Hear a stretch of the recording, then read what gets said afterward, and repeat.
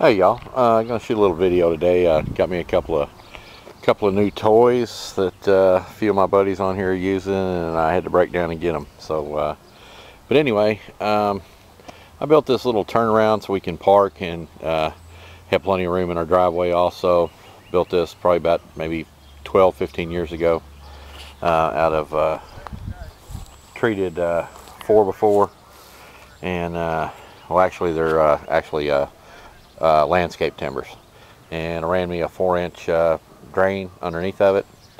And then had Carl and his brother delivered me some of this gravel a while back. So over time of course you know we, we try to keep it uh, painted with uh, uh, stain like the same colors we stain the deck. And uh, but it's remained in pretty good shape. However we had some numbnut come through here the other night and hit it and knocked it completely completely down. So what I'm gonna have to do now is uh, run up and get me some more timbers and I'll frame this back in. I'll post it up there but this time on this side of it I'm gonna post it probably three or four posts all the way down it. So next time they hit it whoever hit it I'm sure has got a pretty good uh, little chunk missing out of their car but uh, next time they hit it, uh, I don't think they're going to be going anywhere. But uh, anyway, too, on this hole here where it drains, this is uh, slowly eroding over time. So what I'm going to do is I'm actually going to get all this residual dirt out. Then I'll take and I'll wet it down uh, and, you know, kind of smooth it out with my hand. And then what I'm going to do is I'm going to get my wheelbarrow and some concrete and I'm going to make my own trench here, a concrete trench, and it'll keep the erosion from uh, continuing. But uh, anyway, I just thought I might share that with you. I'm not uh, Fritz ain't too pleased about that. So anyway, reckon I'll uh, get up here and I'll show you some of the new toys I got. Eddie's talking about coming out today. We might uh, do a few tests today. Uh, he's got the day off. We might ride up and get something to eat and chill out for a little bit today. But uh, anyway, let me get after it y'all. Uh, broke out my vacuum pump again. I'm sure y'all want to see uh, this again but uh, anyway i just thought i might share this with some of the fellas that might and ladies that might uh, own the jb dv 200n 7 cfm half horsepower motor two stage. Um, reason we did this if y'all remember back when me and eddie were shooting the vacuum series and uh, uh, vacuum simplified we didn't show behind the scenes here. Um, this is a great pump. I've had it since uh, March of uh, 2003, so I guess she's what, eight, nine years old here. But uh, like I said, behind the scenes, whenever we were hooking up my my half-inch Appions to it, um, whoever came out with this, see the feet on this? As I say, feet is plural. Um, it's a teeter-totter, man. Look, that thing will pop over, lay over on you so fast it'll make your head spin. So uh, after we got done shooting our video, uh, Eddie called me back up and said he'd got online on the JB site, so I hopped on there with him and uh, we found it. They still make this uh, DV200N. Uh, believe it's under the name of, uh, I don't think it's Eliminator. Uh, I think it might be Terminator or something like that. I'm not positive. It's the one step up from that one. But like I said, it's got these feet on it and they're just, look, I mean, you're asking to damage your pump. But uh, actually, after we looked at that, we kind of looked at the new one they have out now, and it's actually got a base on it. Not feet, but a base foot. A foot, not feet. But uh, anyway, I got hold of uh, JB and uh, JB Industries, and I talked to a good feller over there named Dave. He's like the head of their tech support over there. And uh, he told me, he said, go out there, Fritz, look at your serial number, and if it's 0101 or above, that foot will, uh, the new foot they have for the new unit will work on this one. So uh, I got hold of the JB and uh, they were kind enough to, well actually I went over to Johnstone and uh, my buddy Billy over there ordered this for me and I uh, just got the foot for it. So uh, this should make setting this up and getting it stabilized a lot more easier than like this. So here's the foot for it. I guess it'll fit like this. So let me uh, get that dude on there and uh, let's see what we got. Okay, y'all.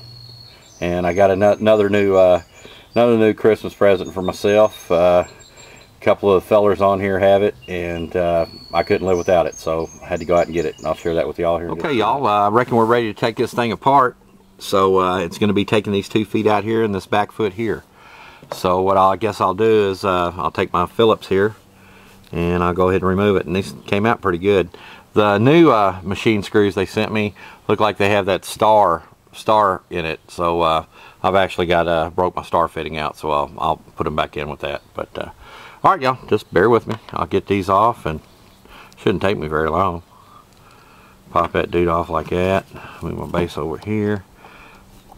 Pop this dude off. I can't believe they're uh, good and loose. I figured I'd have a hell of a time trying to get them out. But uh, I looked up in this foot here, and it's actually a, uh, a flathead. So let me change out my Klein here. And we'll go ahead and get this puppy out. Come on, Fritz. Hit the hole there, buddy. There it is. Okay, y'all. Let me get this dude on here. And I'll get right back with okay, you. Okay, y'all. I got the, uh, the bottom foot off. The back foot sits here on the motor. And I'm going to go ahead and get these puppies out. They pop out pretty easy and we'll go ahead and uh, get our base on there.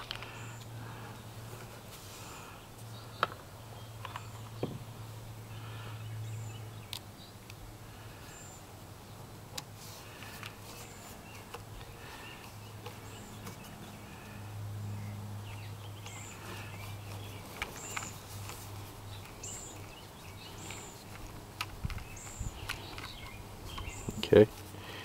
Don't go hog wild with it, but we'll tighten her up a little bit.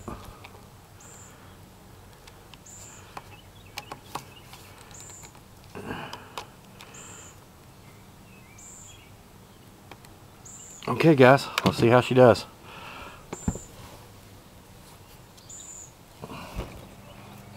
Oh my god, look at that. Look at that. Oh, that's next level, y'all. Very impressed. Um, man, thank you, Dave, over at JB, and appreciated Eddie. That was a tight eye. It looks like she's even more leveler now, too. That uh, this foot here had like a, if you can see, it had like a kick to it. See? So basically, the only thing that was holding that unit up was this. You're asking for it. So now we're good to go. If I did that with them feet on there, it'd be on the other side of that table.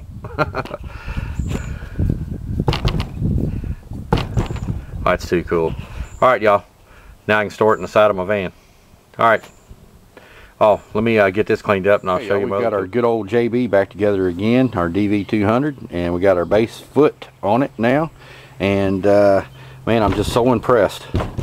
Freaking awesome. Now uh, this nine-year-old uh, pump is updated to a 2012 model so we're ready to rock. Um, wanted to share another tool with you before Eddie got over here. We're going to have to do some running over to the parts house and we're going to make a sequel to Gone with the Wind Part 2. But uh, anyway, everybody knows what this is and uh, you know this is our coil cleaner for our spring cleanings on our AC and heat pump units. Um, this would entitle us pouring our chemical in and then trying to get uh, the water hose or whatever you're doing in it and I always had bubbles going everywhere I couldn't quite get it right and uh, had a good buddy of mine on here, uh, John Israel, uh, turned me on to this. Um, I had to get it. Uh, Zach actually went out and got him one too. And Eddie said he's had his for like three or four years since they came out and he swears by it. And uh, he said he can't live without it. So went out and went to Johnstone when I got my foot and uh, got, got me this new Calgon coil gun. So I actually had to, to call Zach this morning uh, sorry to bug, bug you, Zach. But uh, called him this morning. I was having kind of a little bit of a time putting this dude together. And I mean, frick it, it it's idiot proof. But nonetheless, you know, I had a little trouble with it. And what gave me trouble was this dude right here. It's called the, uh, the deflector. Man, I tried to plug this deflector in everything. and But anyway, I might demonstrate how to just put it together real quick if y'all want to see it. Um, basically what you do is you take your uh, your uh, let's see siphon tube and you put it into the back right here onto your uh, mixing head. I guess you job that dude in there real good. Let's see. Okay, got her in there tight. So we'll just put it down into our uh, bottle here.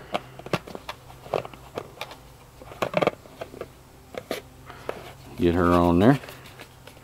Good to go. Okay, and what was giving me fits, man, was uh, it uh, in the instructions it's telling you to put this deflector head on, and I'm like, well, okay, no problem. I'll put the deflector head on, and uh, it said to put it over this doodah. Well, I did. I put it on like so, and it pops right on there. So I got to thinking, well, oh, okay. So I got the deflector hit on there.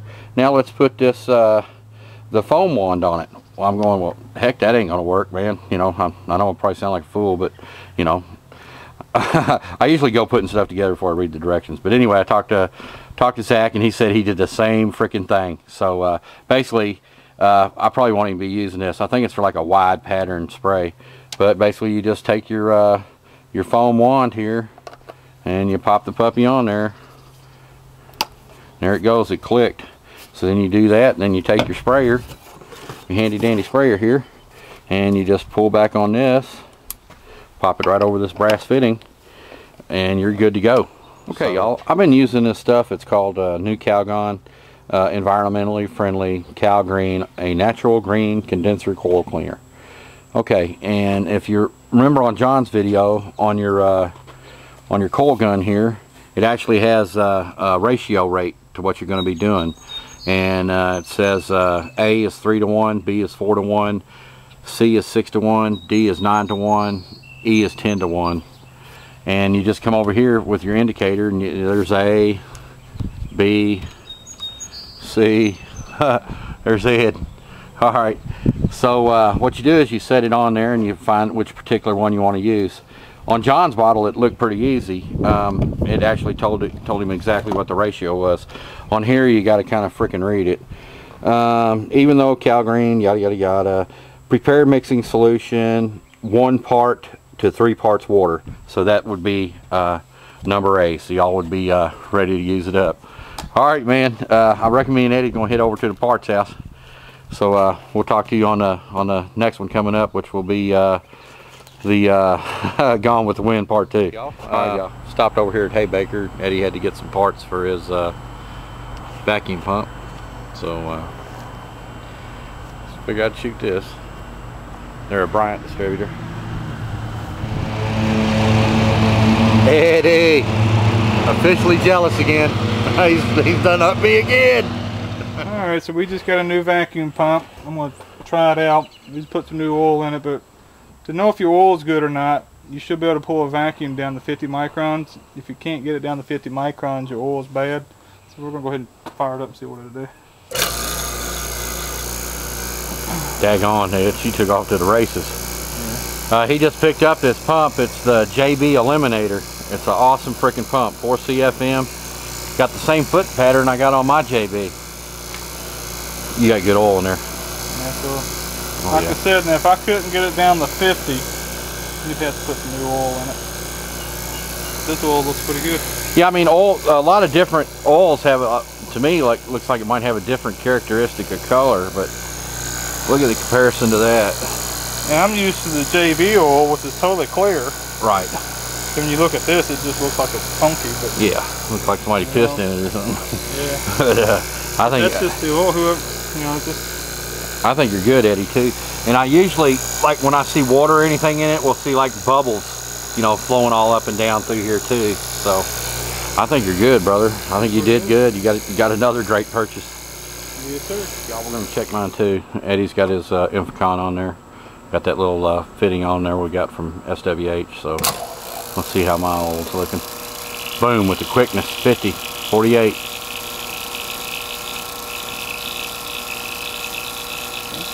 And what Eddie... So it could be good. Yeah. What Eddie was talking about too, see, on this I put the JB oil in it, not that oil I had, and it's, it's almost, you know, it's clear. So, I think we're good on that too, Ed. I think yep. we're ready to rock. Damn, dude, that is the setup, man. What you, what you got here, Ed? Break it down for us. Alright, so I called Appion, and he gave me the okay. to hook it up like this. So I'm to keep me from buying more hoses, I, I want to utilize the hoses that I've got. So I'm going to use my 3 8 hoses to the equipment. This is, pretend this is my condensing unit. Then I'm going to use my vacuum hose, a half inch, got the 3 8 quarter inch. I'm going to use that on my recovery machine going to the machine. Then I had to buy me an adapter here. I may have put on too tight. No. so I was able to Increase it. Yeah, there's a female male, so I was just able to screw that onto my quarter inch, so I have three eighths. Rock and roll. So I'm gonna go from three eighths to the quarter inch, which is gonna go to my recovery tank. Absolutely. Man, that's going to So be freaking intense. use the hoses that I've got. I'm gonna try. We're gonna test it all different ways, but Yeah. I think this is gonna work. Oh yeah, I can't wait to do that, man. We'll uh, we'll have all kinds of fine as well. configurations on it and be good to go. All right, man. Y'all stay tuned. This is probably coming up this weekend. I hope we get time. Of course, uh, what's Thunder over Louisville's this weekend? Ain't? Yep, going to Thunder. Yep. So it might be y'all might have to stay tuned for a little while longer. All right, y'all. Okay, y'all. Uh, here's Eddie's new nice Mega Flow. Uh, it's a beautiful unit, man. He's set up 3 8 3 8 half. Man, he's ready to rock.